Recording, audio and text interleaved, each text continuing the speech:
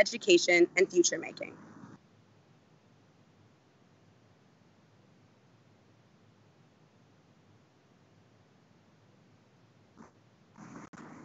He has held faculty positions at the University of Belize and Galen University and has been a adjunct faculty at the University of Toronto, University of Belize, and University of Manitoba. He has a long history of involvement in Indigenous movements in Belize and Central America and has been involved in the development of Indigenous and intercultural education in Belize. He's taught, written, and presented on topics including the colonization of education and development, Indigenous governance, and education, and Indigenous knowledge and reinsurgence. He is currently founding advisor at the Center for Engaged Learning Abroad. So that's our, first panelist. Uh, our second panelist is Runako Gregg. He's a grassroots activist and human rights lawyer who began his career in Ontario, Canada, but is now based in Trinidad and Tobago. He has worked as a policy ana- analyst and a litigator, appearing before various levels of courts and boards with a specialty on race and racial profiling.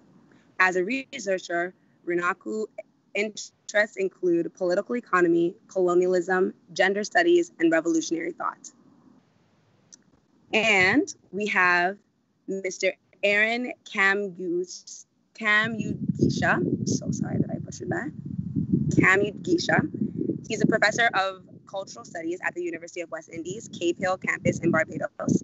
He is the author of Beyond Coloniality, Citizenship and Freedom in the Caribbean Intellectual Freedom, as well as several indispensable volumes of Caribbean political thought.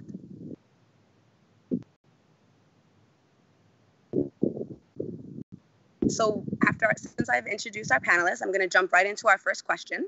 Um, given the state of the world right now, with everything going on from global trends of tearing down monuments uh, to the uprising of anti Black racism and police brutalities in America, also coupled with the COVID 19 global health pandemic that you know our, our world has been going through. What are you thinking for the panelists? What are you thinking about in terms of commemorating Emancipation Day in 2020?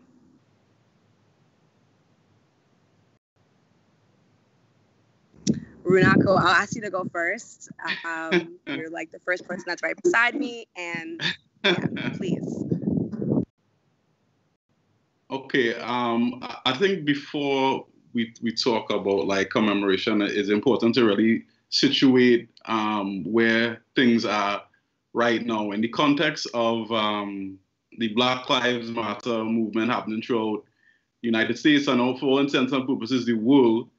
And um, to, look at and, uh, and obviously along with the, the COVID pandemic, and just to, to try and, and think um, about specifically how, how it, it affects each part of the world. So um, it, it, it, will mean something um, different for, for North America than it does for the continent of Africa and uh, or, or that it does uh, in the Caribbean.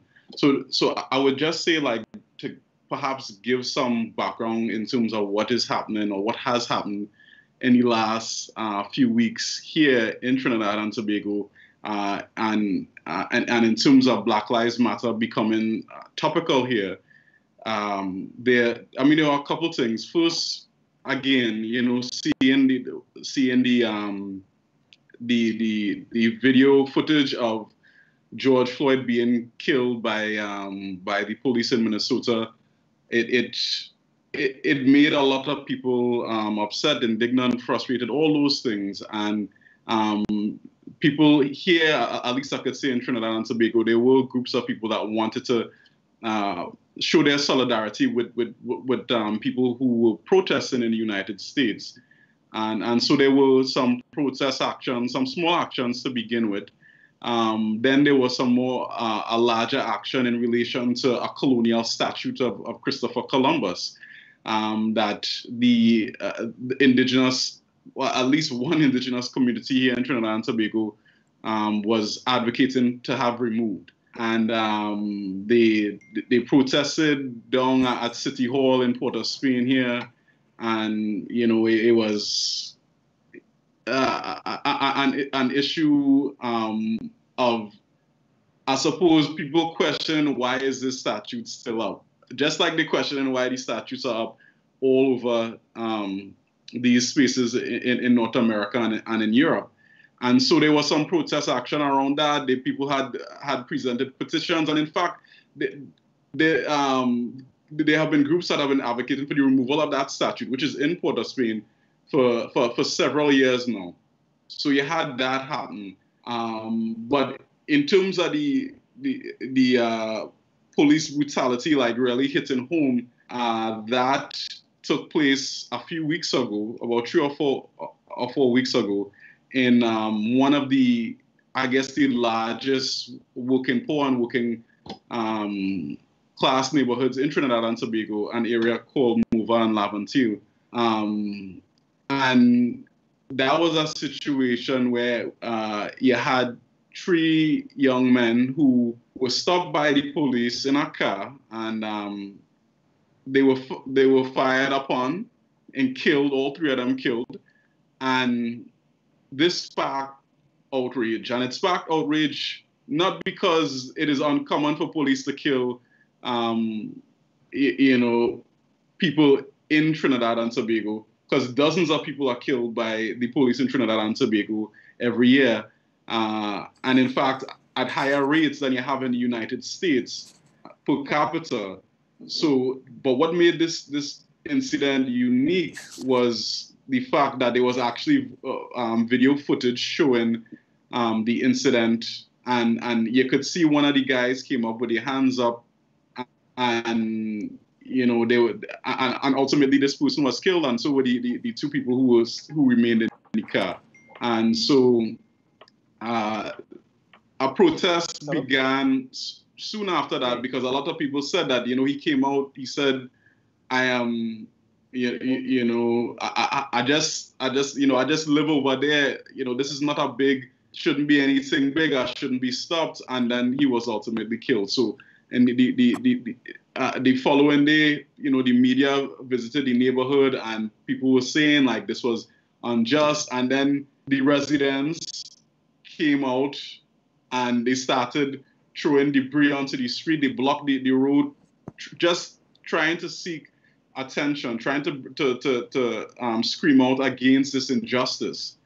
And that incident resonated with other working class and working poor communities in this um, in Trinidad and Tobago, uh, specifically like neighboring areas. So yeah, so the incident happened in Morvant. Um, you know, you know, uh, uh, you have Laventille, which is next to Morvant, and they were they were protests there. South of of, uh, of Laventille and Beetham Gardens, they were protests there, and then um, in East Port of Spain, Sea Lots, they were protests there. And so within a few days, actually less than a few days, it, it started in Morvant and then it moved on to these other areas. And then people came into the streets, into the hundreds, in fact, protesting against what happened. And obviously, the, the, the, the historical moment, the, um, the fact that you have these protests happening all around the world really push people to, to get into the streets and, and, and and protest against what was happening, and and and also starting to make connections in terms of um, the fact that that these are also neglected communities in Trinidad and Tobago. And um, so a lot of that energy was, was, was put out there. People were making signs on cardboards and stuff like like that. Nothing too fancy, and you saw a lot of young people coming. But then what you also saw was a lot of repression by the police. The police um, tear gassed uh, the protesters. You had uh, over 70 people were, were arrested. Um, and the police in very militarized looking gear, uh, essentially, you, you, know, we, we saw video footage of them intimidate, intimidating protesters. And then on top of that, you also saw um, a protester was also shot uh, and um, while in the police presence, I mean, they, they have yet to de- determine whether or not the, the police fired the shot that killed this protester. Um, but but but but but that was um, one of the major reactions that happened uh, as a result of the initial killings in in um, in Morvant.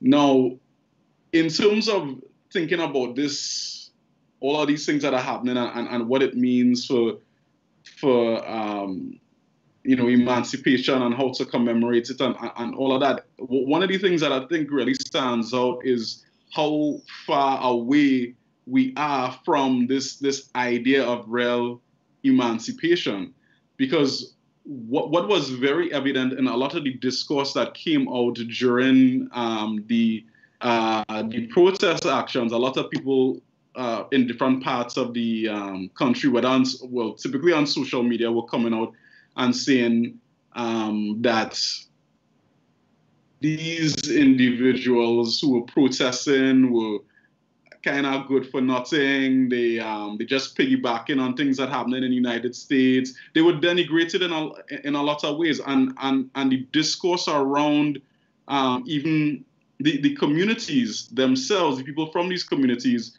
were um, was language that that was clearly embedded in a kind of like classist um, projection or classist classification, I should say, and, and as well as anti-black racism as well.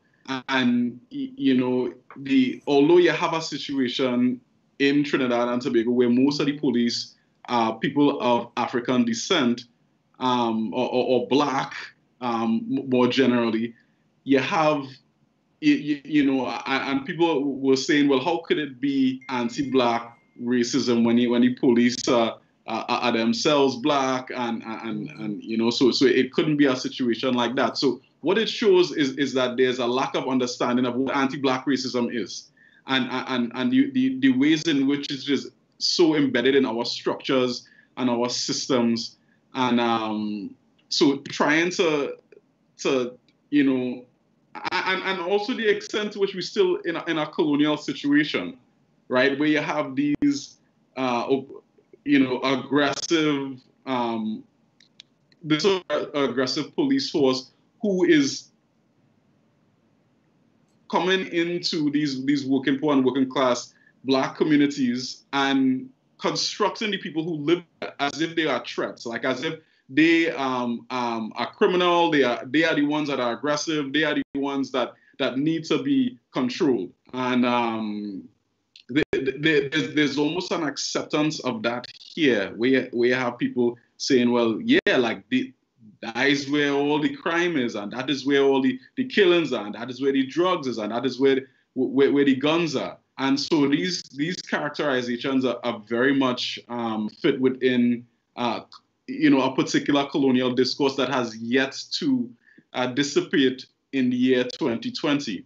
So so for, for Emancipation um, 2020, I think it's really about thinking how far we need to go and, and how much work actually needs to be done in order to reach the point of, um, of being free. Because if we as as as um, you know living in the, the Caribbean especially are unable to so for example like even with the, the, the Columbus statue you have people who were criticizing um, the like protesters who wanted the removal of the statue. They say, you know, that statue here for so long, like why you want to remove it now? And, and without really thinking about how much we uh, are still tied to this history of um, of genocide of the indigenous people, acting like like like if this this symbol is not an affront to, to, to the whole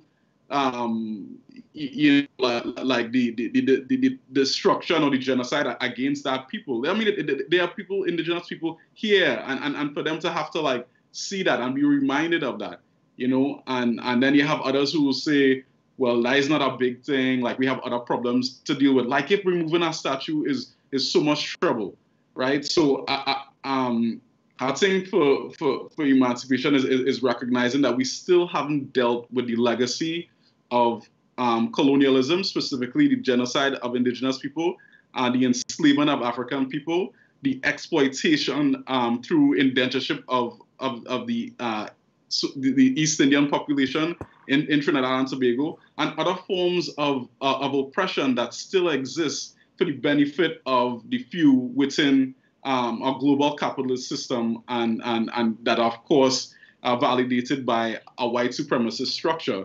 So we have we haven't come close to to really uh, interrogating these um, these systems, and so I think Emancipation 2020 is about trying to get to that point and and, and pushing ourselves to um, to engage in these these these discussions and, and ultimately um, do something about uh, changing the status quo.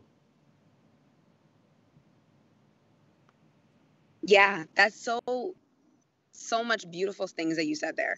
But just just as an extension to your last part, think about that a lot when Justin Trudeau um, you know, when those pictures of the blackface surfaced.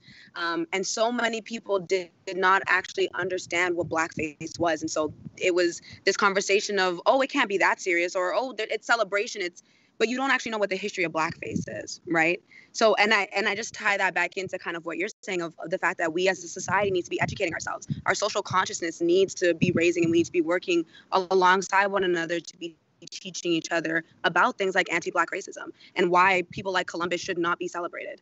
Um, because yeah, that's kind of where the work starts. Um, and I wonder if we kind of skipped over that, um, or if a part of you know the revolutionary process right now, if we've been kind of speeding past that that that step of education, of sitting with folks and just kind of explaining you know why we're here and where we want to go. Um, so thank you so much. That was so wonderful. Um, whoever would like to go next, please.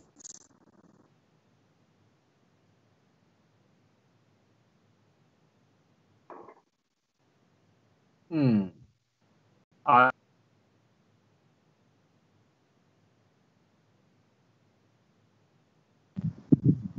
Okay. Um, Filiberto, did you want to go next? I I I can. I'm happy to. uh, thank you very much, uh, uh, Runako, for those uh, wonderful, you know, contributions and uh, those insights. I think it's really some very important issues. And I think what I have to share really, I think, uh, resonate with that. I mean, I think we recognize that. Um, you know, when I uh, see what's going on with the, you know, Black Lives Matters, what happened in what's happening in the U.S. in terms of the police brutality and anti-black racism.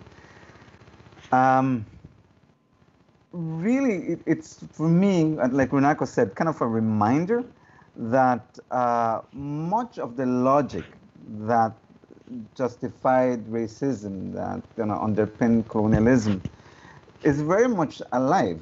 It's alive in our institutions and really it's alive in, in, in our ways of thinking. Uh, for both uh, white people as well as even us indigenous and black people, right? I mean, we also have that. Runako said, you know, uh, when people think that there is a police uh, performing violence against another black body, that, that okay, well, that cannot count as anti-black racism.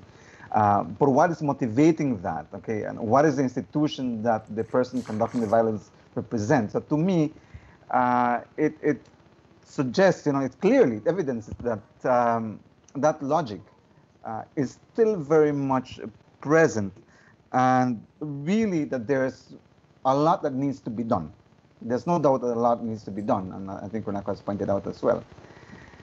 But also seeing the kind of activism that, that uh, is going on, right? The, the, the, fighting back, it also shows me that the spirit, I think, of our people, black people, indigenous peoples, you know, it, it, is, it is very much alive and that there's a tremendous resilience despite this ongoing negative forces, we are here and we're fighting back. I mean, that doesn't take away from the fact that there's tremendous uh, negative forces, but I think it's also important to recognize and celebrate uh, the fact that we fight back. Okay, uh, whether it is indigenous peoples uh, in, in in Mexico saying "ya basta" or you know um, enough, you know, or, or Black Lives Matters, you're seeing all of this kind of activism. And I think it's important to recognize that much needs to be done. We're doing a lot, but much needs to needs to be done.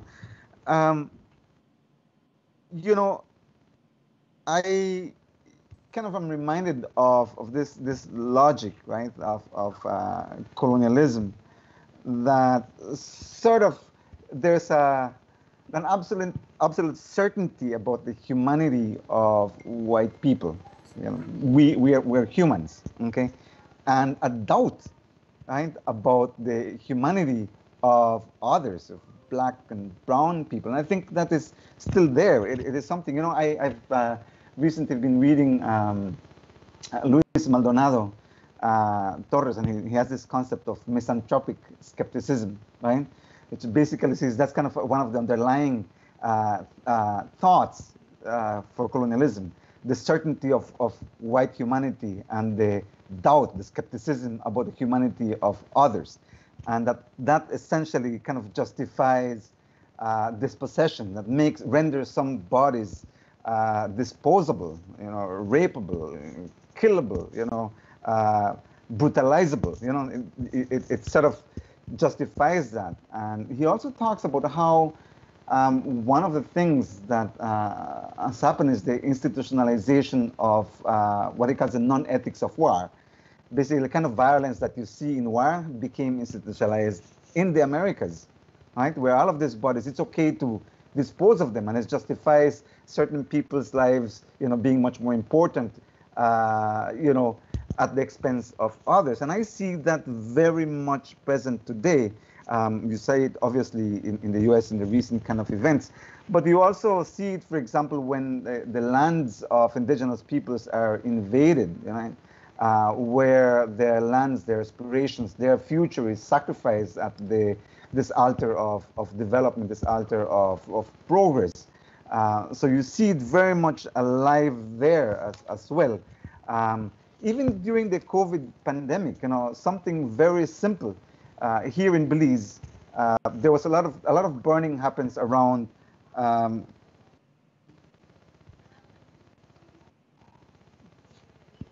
you know, during the COVID pandemic, um, there's a lot of burning that happens in the months of March and April.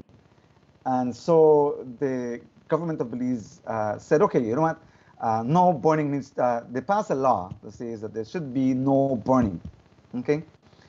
And without giving thought uh, to the fact that for some Maya farmers, it is important. Obviously, burning is demonized, right? But no thought is given to the fact that if you do not clear your land and if you do not burn because you're doing rain harvesting, uh, farming, if you do not do that, then three months from now you have no food. But that's not in the logic of the thinking of, say, the agriculture department, whoever is developing the laws those lives do not matter. Those ways of thinking, those ways of being, knowing, and doing do not matter. To me, that is very much present, and it shows you the kinds of things I think that we really uh, need to engage in. Now, for me, I work with indigenous peoples uh, a lot, and, and um, in, in, Belize, and I see uh, some of the work needs to be done. Obviously, the question of land rights and securing those are really important, but also sort of like imagining uh, uh, an alternative future, a future that is based on a different kind of logic and that's what really excites me. And that to me, so Emancipation Day, you know, Emancipation 2020, for me, as I said, it's a reminder of the fact, you know, that that logic still persists. And it's present in different kinds of ways. Um, but also uh, time to celebrate the fact that we're here, that we're resilient, that we struggle. And kind of going forward, thinking about the kinds of things that are necessary. One, obviously, solidarity. I think I think there's absolutely need for solidarity. Sometimes I think uh, indigenous movements, for example, are put kind of uh, pitched against sort of like black movement. I think, and in places like the Caribbean, where you have indigenous peoples and black peoples, ultimately we're fighting the same kind of forces. So we need to really, you know, build that solidarity. I think that's it's really important. Um, the, obviously, how do we think our future from our own thoughts? Okay, how do we liberate our own thinking to imagine an alternative future that is not, you know, linked to the exploit uh, exploitative kind of global capitalist system. Those are things uh, that, for me, you know, are, are, important when I think about Emancipation 2020. Wow. Yes. Yes. Yes. Yes. Big, big emphasis on the solidarity um, and solidarity, of course, also meaning that we are learning and being open to learning um, and growing with with others and with folks that are not of our culture and of our ethnicity, because uh, it's vitally important. Um, because we literally we have to be able to do this together, right? Um, and I always bring up the example of Cuba whenever I hear about solidarity or international solidarity, um, because they were just so beautiful at that, so um, willing and ready to go out and you know support wherever it's needed. Um, and that's just the kind of vibe that yeah, whenever I think of emancipation, I also think solidarity because um, I think that that's so key and so major. Um, so yeah, I'm gonna pass it off, please. Next panelist. All right. Um, so um, you're hearing me clearly, yes? Yes. Ah, okay. Wonderful. Right. Yes. So, um, yes.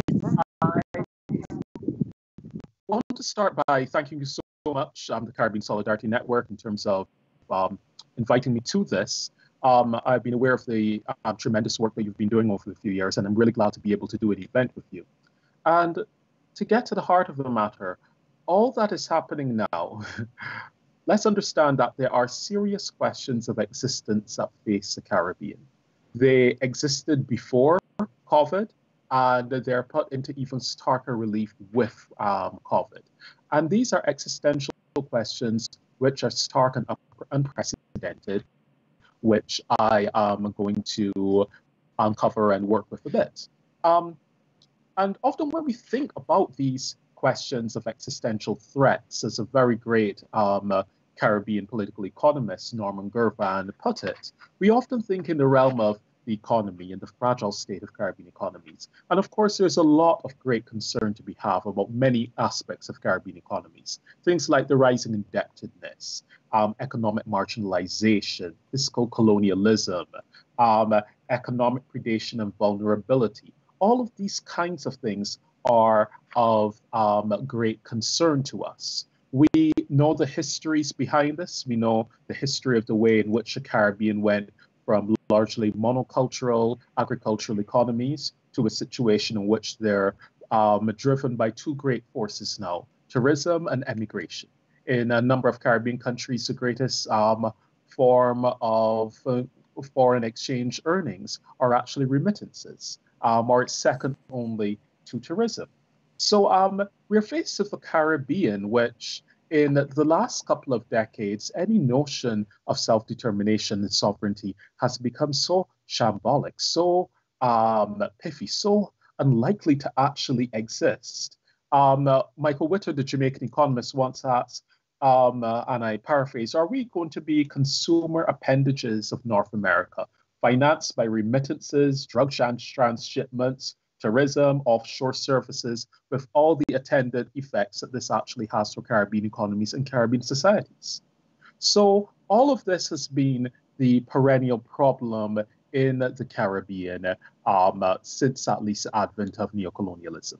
Um, in a way, we have always been um, living in a particular kind of state of emergency. And um, it's funny even to think about the phrase state of emergency because um, in the context of the 1970s, these would have been imposed by repressive uh, regimes when they wanted to manner populations within the Caribbean. But now, state of emergency has actually become the norm. So you have a situation in Jamaica, and um, I um, do forgive me, audience, if I'm a little um, loose on the specifics here because I haven't followed that situation as closely as perhaps I should. But um, there are parts of Jamaica that have been under state of emergency now for I think about close to a couple of years. Okay, it is an ongoing thing in large swathes of Jamaica due to the actual crime problem. So um, we have all of this such as actually happening now, all of these existential threats and problems. Um, but then, of course, we had the advent in the last three years of the most incredible series of hurricanes in terms of the hurricane seasons that we've had, um, uh, which have caused so much anguish, death, and destruction across the Caribbean. And of course, um, one of the very frightening things about um, uh, the environmental questions this raises, which I'll come to in a moment, is the fact of the intensity of the hurricanes. Um, in 2017, I think at one point there were three category five hurricanes in the Caribbean at one moment in time. The behavior of the hurricanes, um, I believe it was Dorian last year in the Bahamas, it actually sat on one of the islands, okay, for a period of over 24 hours. So you're watching it on the map and you're actually seeing this hurricane moving at zero miles per hour. Okay, this category five hurricane moving at zero miles per hour, sitting on the island in a way that no one had actually really seen or experienced before. And then, of course, there's also the strange tracks of the hurricane.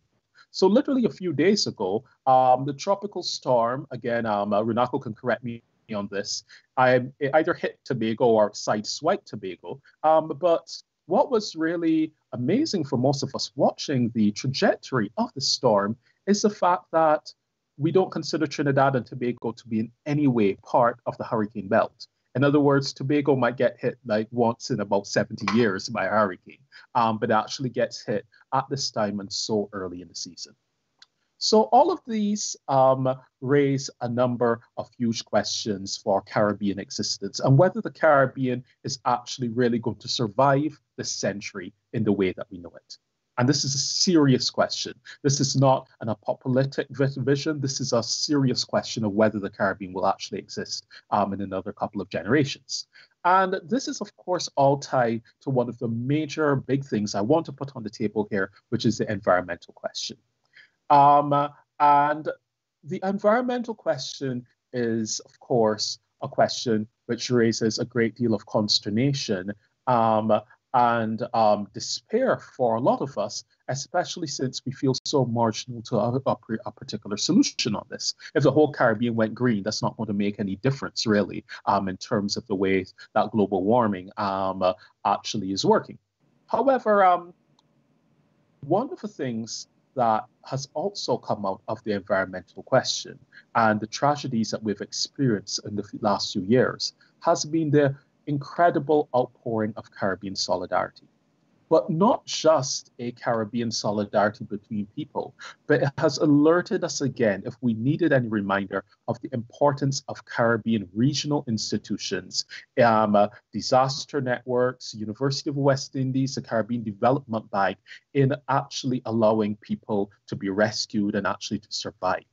Um, so the persons out there who will say laconically, oh, you know, there is no such thing as Caribbean regionalism, or the only Caribbean regional institutions are the University of West Indies and the West Indies cricket team, and the West Indies cricket team ain't doing nothing now. Well, you know, I mean, that's actually really a fundamental misnomer. It's incorrect. And it's incorrect because there are so many Caribbean regional institutions that do a tremendous amount of work of uniting these spaces and actually helping each of us um, uh, to survive.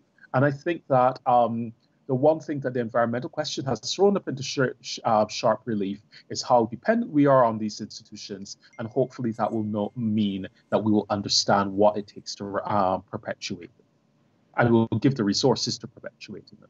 The second thing I want to put on the agenda and on the table is, of course, reparations and reparatory justice for the crimes of colonialism, which, of course, has been given a great fillip and a great new energy by what has been happening with Black Lives Movement um, uh, and the various interconnected movements that are taking place um, throughout the world on this. Um, I mean, I remember 20 years ago when persons like myself used to say, you know, um, in your early 20s about, um, yes, you know, we should get reparations for slavery. People used to look at you as if you were insane, as if you were saying the stupid, impractical, the most nonsensical thing. That's a commonplace position on uh, by many who would be just left of center now okay? But it was an extreme left position. To even articulate it, um, it was um, almost seen as being crazy 20 years ago. So we have come away, um, even though there is a lot further to go. The third thing would, of course, be the question of gender justice and the commitment to gender justice that we need to have in the region. Um, it's um, over the last generation, the most important impact in terms of Caribbean activism, the changes to Caribbean scholarship, the ways in which we see the world, have come out of a tremendous genre defying set of women on Caribbean women's lives, on behalf of Caribbean women, on um, changing the very um, masculinist culture to the Caribbean and creating something new out of it. This is work which stands at the center of any leftist movement in the Caribbean and needs to be perpetuated and needs to be supported. And it stands also as one of our major flanks when we, planks when we think about any question of emancipation today. Um, there is also the question, fourthly, of a destruction of capitalism. Um, socialism or barbarism, that old slogan, is a living slogan for our time. Um, there will never be any social justice under capitalism. I know some of us would like to believe that we can tweak with it and we can do this, but there is no social justice under capitalism. There is no black or poor enfranchisement of workers under capitalism. That's not how capitalism is built. So um, the world will also have to make a choice for socialism because, and of course, all of these things are connected. The kind of environmental questions that we are faced with cannot be resolved through capitalism. They're not going to be resolved through green capitalism. That's simply not what is going to be uh, possible. Um, fifthly, I would say a voice to the world for peace. Um, and um, we must never um, underestimate the um, encircling and the need uh, of imperialism that the Caribbean has faced throughout its existence, but also the ways in which new Cold Wars, new hostilities are being fashioned at this very moment.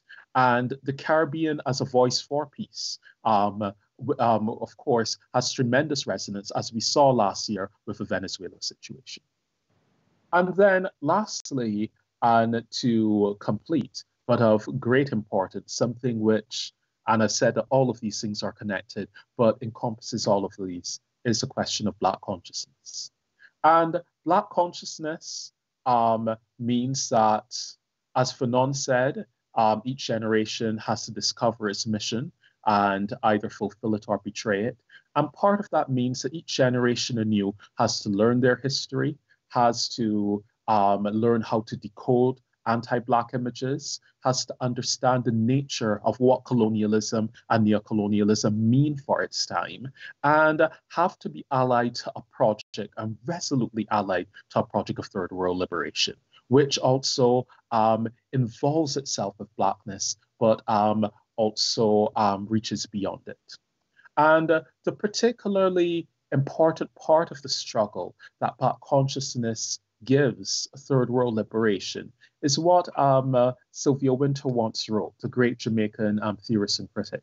She once said that Black people have paid the highest psycho-existential price for the contemporary Euro-American West dominance. And uh, that is a captivating phrase because we have. We have paid the highest psycho-existential price for Euro-American dominance, and we have to be the key to um, undoing that dominance. And that's what I think of as some of the most important features of the Caribbean at this moment in this conjuncture, Emancipation Day 2020.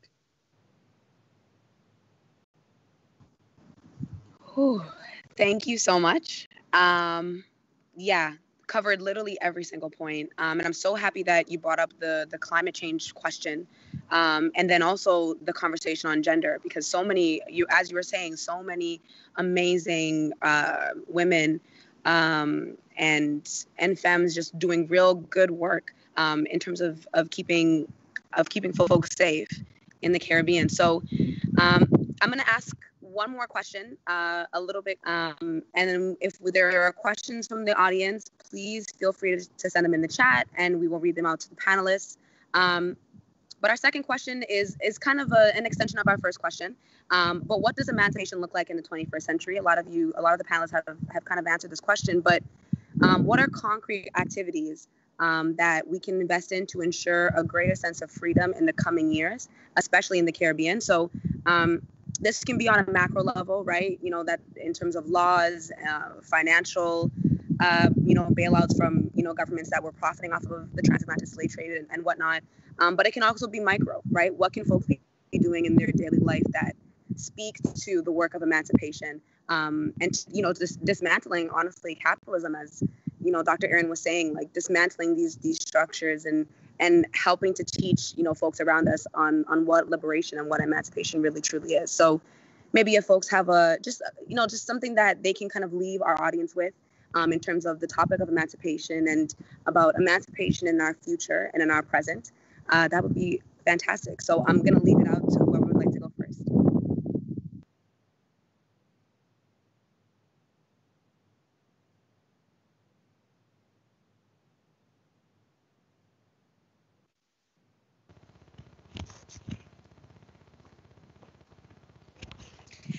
I was gonna say, okay. do I have to pick somebody? okay, let, let me um, let me jump jump in. Um, I think a lot in terms of the work that I'm involved in. That's kind of where I think from, right? And for the last 20 years or so, I have been uh, affiliated with the indigenous movement, Maya movement in Belize.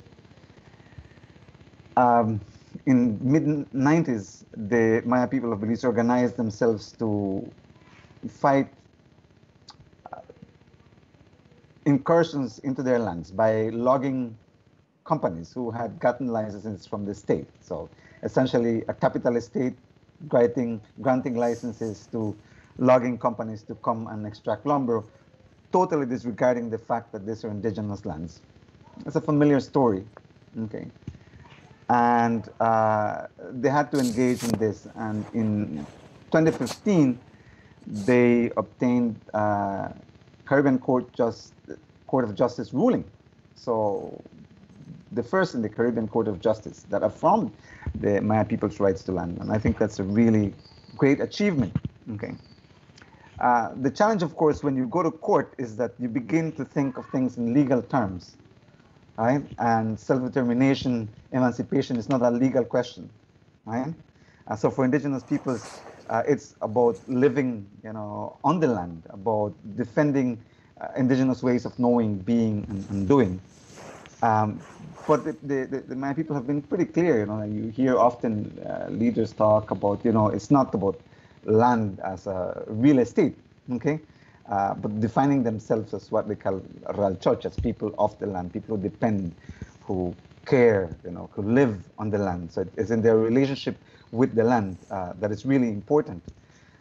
So One of the things that we have been talking about lately in, in, conversations here with some of the leaders and colleagues is what does indigeneity mean going forward? What does Ral Ch'och mean going forward? Right? Um, and that I think is the task. Right? How do we define ourselves? What is going to be the relationship that we're going to have with the land and with each other? That seems to be a really important question. So one of the things that I've seen happening here is that indigenous peoples are working on imagining a future, right? A future that is reaches into their heritage, but it's open to all kinds of possibilities. Uh, to me, that's the most exciting thing, and I think it, it, involves many of the things that we have been talking about, even responding to the question of gender and climate change. So how, how are we going to relate to them? Because ultimately, the challenge of climate change, those environmental issues that we're facing, are the result of the economic system that we have been carrying on, colonialism and the, the economic system that have been established. Um, so we have to really imagine something outside of that. We have to dismantle uh, capitalism. You're absolutely, absolutely right. And um, I'm, I'm really excited about that. And I think it's one of the things that we have to do. We have to reach into that heritage. Uh, we have to think ourselves from ourselves. Right? We have to think about the Caribbean from the Caribbean. And that really requires stepping out of the box and thinking crazy ideas, uh, like reparation, which may seem crazy, but you know what? That's the only way that actually we're going to make progress. Um, I'm sitting here on somebody else's desk, but I see uh, this uh, document. I don't know whether you can see it, um, but it, it says here the the future we dream, okay, which is uh, an output of an of an exercise that the Maya people collectively engaged in involving women, young people, and men to think, who are we? Three basic questions. Who are we? Was one of the questions. Where are we now, and what is our dream for the future? And this initiative made use of, you know, arts-based methods. They produced drawings, they drew uh, stuff, they imagined the future.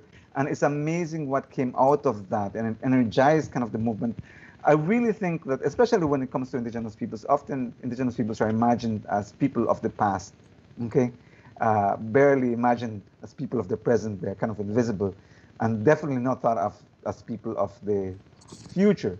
Uh, but I see indigenous peoples as future makers, and the same thing I think uh, with black people, the, the, the, the, future makers, and we have to see ourselves in terms of that and reaching out, in, reaching into that wealth uh, of resources that we have uh, to imagine an alternative that overcomes those issues that we kind of talked about today.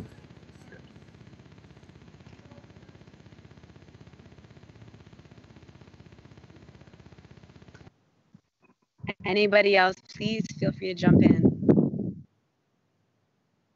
um, I'll just jump in by making a couple of points. Um, additionally, um, I love the last points about indigenous people as people of the future and not of the past. There's so much. I thought the way that that was put, you know, and uh, um, the way that the stereotype works and moving beyond that is so important.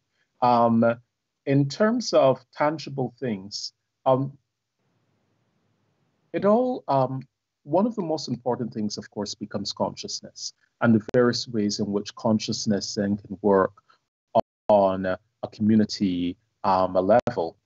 Um, I was reminded just now of Lloyd Best's grand comment when he said, I dream of being involved in a grand Caribbean susu. Okay? And of course, Lloyd Best, the great um, Trinidadian economist, meant um, he could see a Caribbean in which um, was operating as one economy in which the different national states were sharing and helping with each other, each giving the best that they had to a project of regional liberation. Um, but I think I also thought about that point because in deepening Caribbean integration and uh, deepening Caribbean self determination, because we all understand it's not a project that will succeed overnight, um, one of the things that COVID has thrown into sharp relief with the destruction of so many economies and the cutting off of certain trade links is the vital issue of food security. Now, um, the US Department of Agriculture once, about 10 years ago, rated the Caribbean as being the most food um, import dependent region in the world. And that is a shocking and a shameful legacy that the Caribbean will be the most food import dependent region in the world. And um, it has grave consequences for food security because if you cannot eat, what kind of sovereignty, what kind of self determination can you have as a people? And um, I'm thinking also across to George Lamming, I think um, popularizes his great comments about food and agriculture being um, the root of culture, okay? Um, because it's a cultural experience that we participate in several times a day. So um, that question of food security, which so many families have come to understand um, and of course, very unfortunately, on a very visceral level, um, as a result of the pandemic, is important because it's something Hello? that people can address on a personal level, on a community level, on a national level, and also on a regional level. No, no, no. It has she, to be um, addressed in those kind of ways. Uh, so um, I am not a big um, romantic around the idea of the kitchen garden and all of that. So I will not tarry you with that because most families are simply not going to be able to make any visible um, contribution to their food needs by, you know, planting a kitchen garden. Okay, so, I'm not going down those lines. But I'm switch her saying off, though right? still that this question of food security, this but question anyway, of um, how food, um, um, the most basic you know, uh, and the most important, important product uh, for like her. gets um, produced. She's not back. Is she back? What we consume, what economies we actually support. Oh, no. What does this mean for our personal consciousness or national consciousness? All of those are some of the things which I think um, is certainly not the only, but one of the most important moments that um, we can start with and we can really think about because it's something that none of us escapes because we all um, need to eat to survive.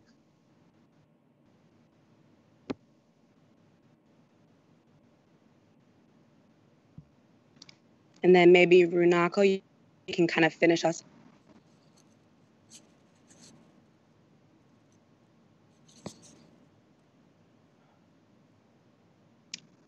Unless, no, Hello? okay. Um, I'm just going to see if we have any questions from the audience really quickly. Um,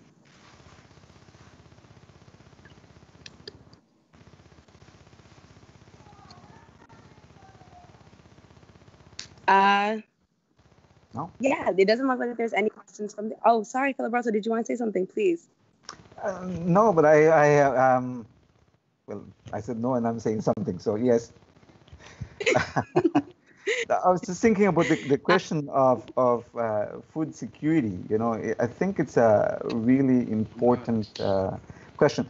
I, I, like the two issues that, that um, raise about climate change and uh, food security. I think that they pose uh, existential threats, right, um, that need to be addressed. That's one of the things that I that I'm excited about, and I think for I, I think a lot in terms of working with indigenous people, which obviously is sort of like a different reality, despite the fact that in certain places, you know, indigenous peoples are also very urban. Um, for at least in the case of Belize, indigenous peoples continue to live in kind of rural areas. Food is a big question, right? Um, and COVID certainly, you know, showed that, you know, as you said, you know, put in sharp relief and you have the question of climate change, you know, that makes it even harder to produce food. So there's a lot of uh, talk about, you know, how do we rebuild our economies for indigenous peoples, not in terms of thinking what do we produce to sell. Okay, yes, certainly we need to generate income, but also how do we uh, sustain ourselves? There's a sense of, the question of self-reliance, which obviously makes sense in, in maybe indigenous spaces that are uh, rural areas. Uh, but I think um, it's something important, and I'm not sure. I, have a hard time thinking about, you know, in the urban spaces, what is it that we that we can do? Is it a matter of connecting within our countries, you know, the urban centers with the rural uh, areas much more closely. Um, I don't know. I'm, I'm kind of having a hard time to think about it, but I know it is a major issue uh, that we have to contend. I kind of wanted to throw back the, the question, say, well, you know, what are some things that we might be able to do kind of in the urban spaces in terms of the question of food security?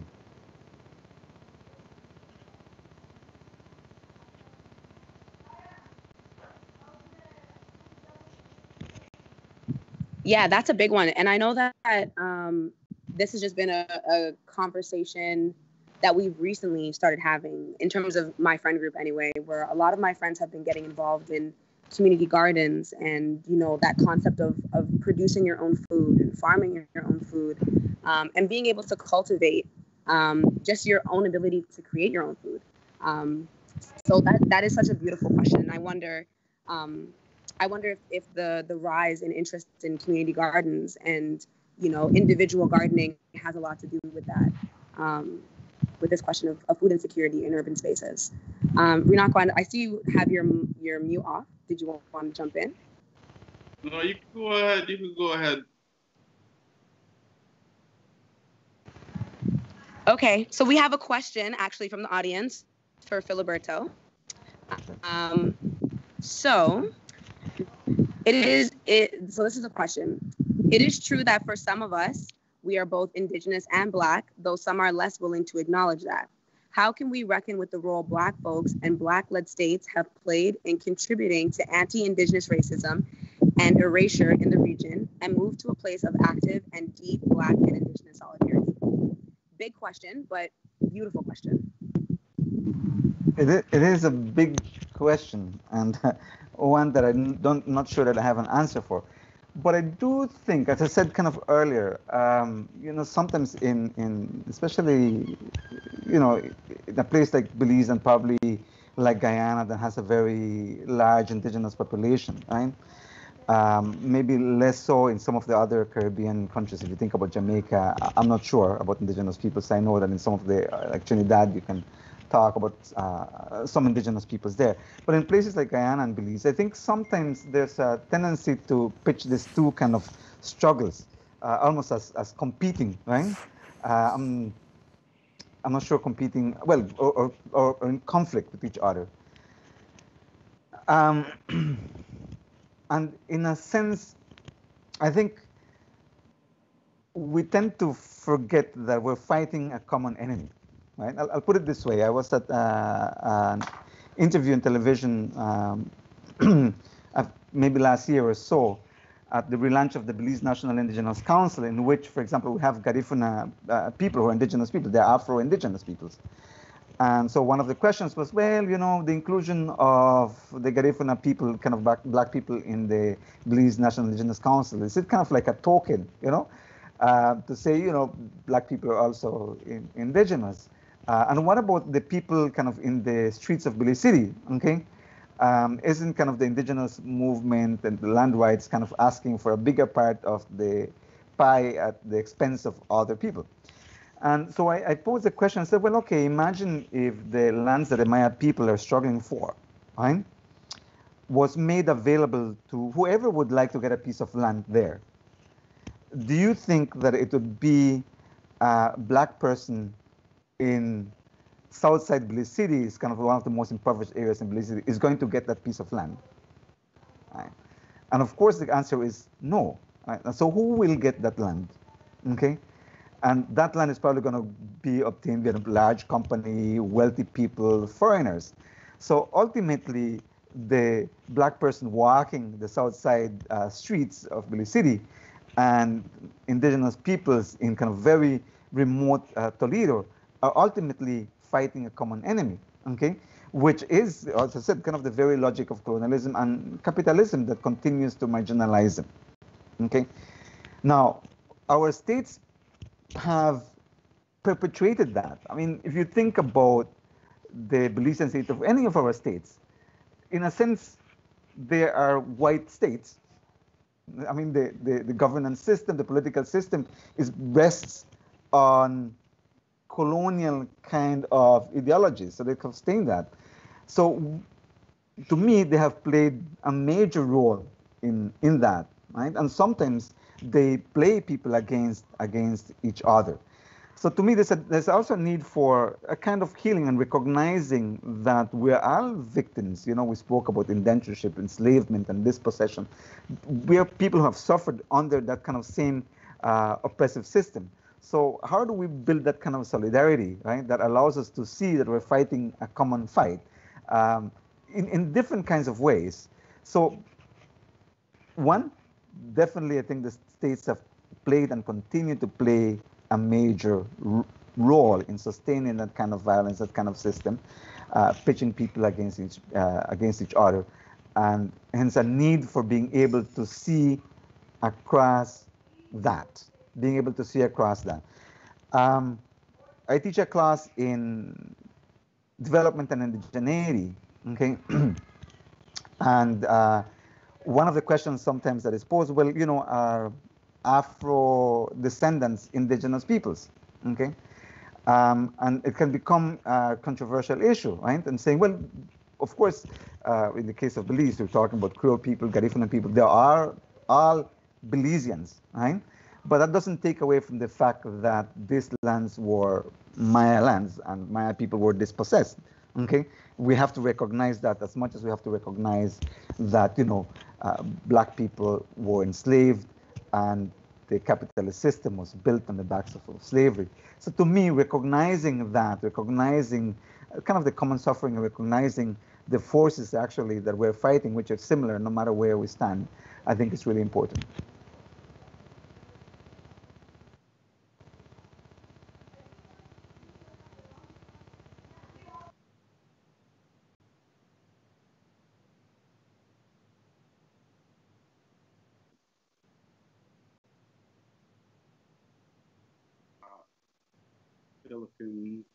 Frozen.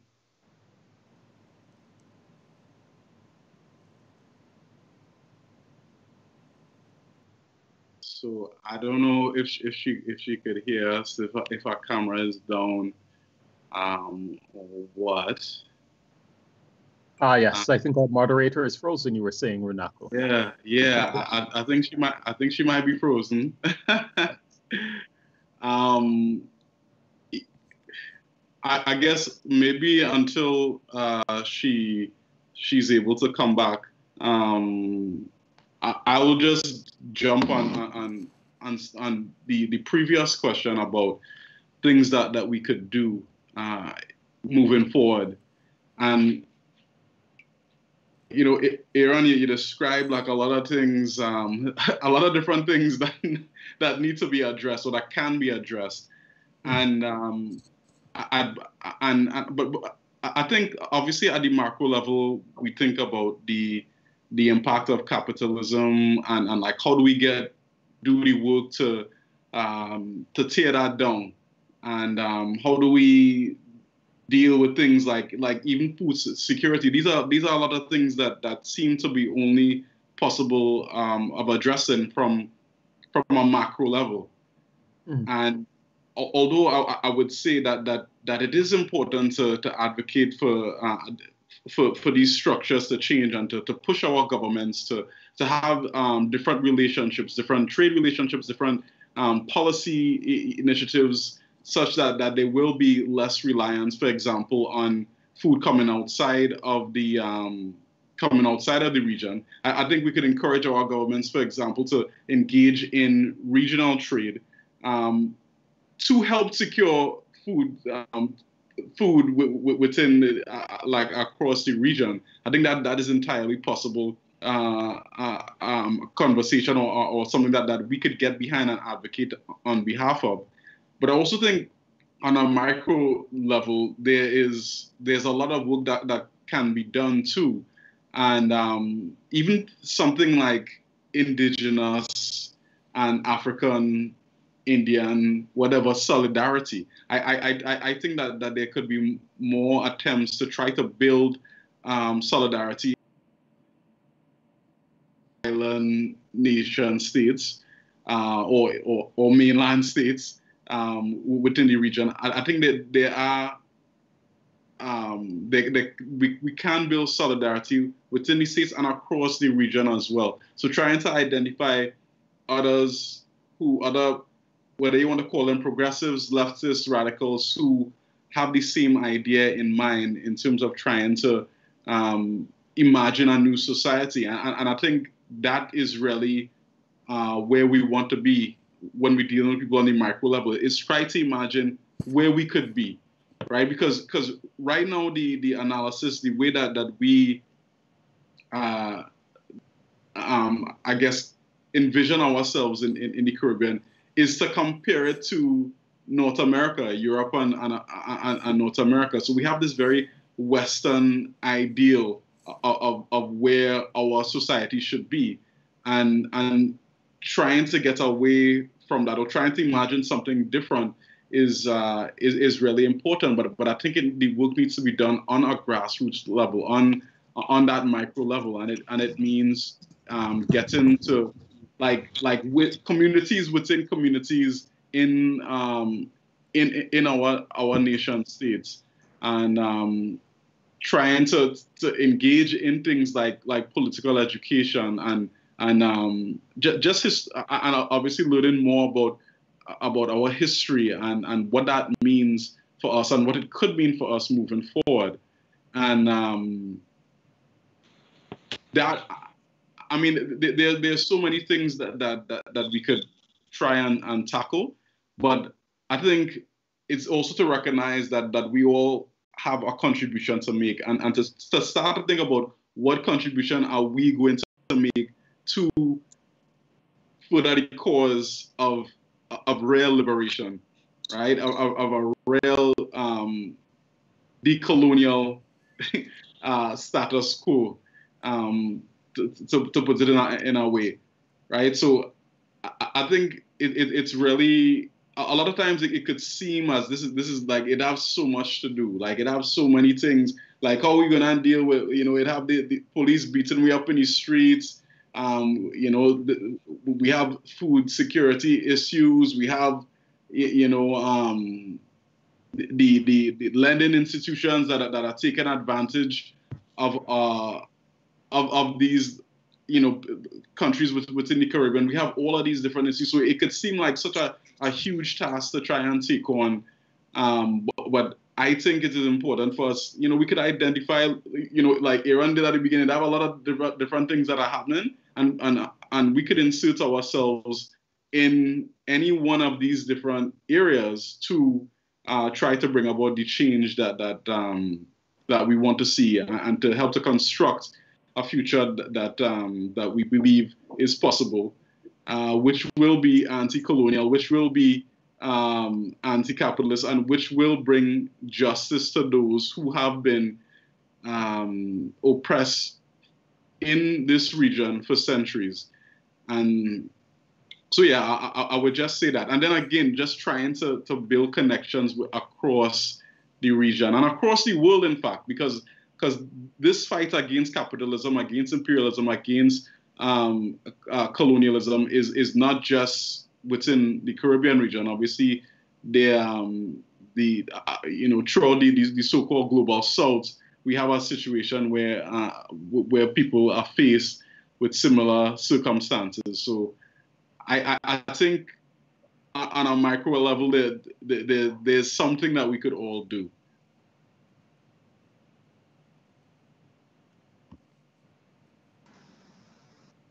Fantastic. Does anybody else have any last words that they want to say? Okay.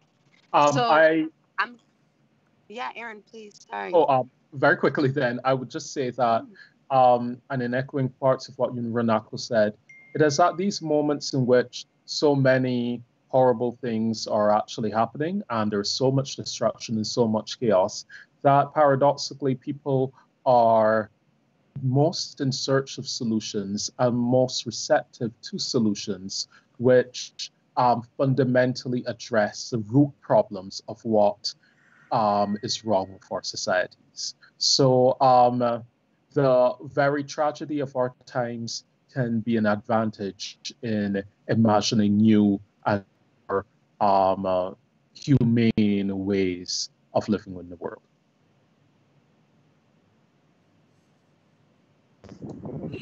Yay. And with that being said, um, that concludes today's event. Thank you so much to everybody for coming. Thank you to all of our amazing panelists. This conversation was mwah, chef's kiss. Um, I, as a way to wrap up this event, I'm hoping that, you know, um, folks kind of take what was what was said on the panel, but also just kind of doing that, you know, self-reflection work and figuring out what emancipation means to you. Um, and you know doing whatever is necessary to kind of implement that in your daily life and um, you know incorporate that in in your own career in your professional life academic life whatever the case is. Um, and if you can take the time you know on august 1st or 31st or whenever uh, to commemorate and to celebrate um, emancipation um, and the legacy of our ancestors i think that would be phenomenal. So again thank you everybody. Have a great night. Continue to stay safe. Wear your ppe uh, and don't be around more than 10 people. Have a great night, everybody. Yes. Thank you so much. Thank you. It's a wonderful conversation. Thank you, guys. Yes. Bye.